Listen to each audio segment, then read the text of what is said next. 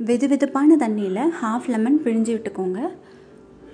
இப்போ அதில் மஷ்ரூம் எல்லாமே சேர்த்துடலாம். மஷ்ரூமை வெந்நீரில் கொதிக்க விடக்கூடாது. கலர் மாறிடும். கை வச்சு நல்லா அழுத்தம் கொடுத்து தேய்ச்சிங்கனாலே மஷ்ரூமில் உள்ள அழுக்கெல்லாம் போயிடும். ஒரு கத்தி வச்சு மஷ்ரூமில் மேலே ஸ்கின் மட்டும் பீல் பண்ணி எடுத்துருங்க.